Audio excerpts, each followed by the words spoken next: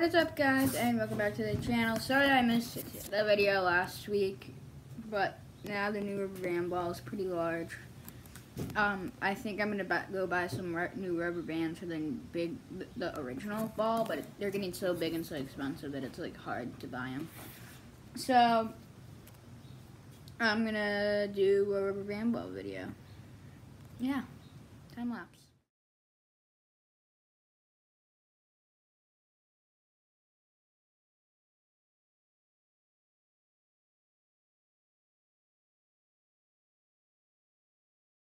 Rubber band.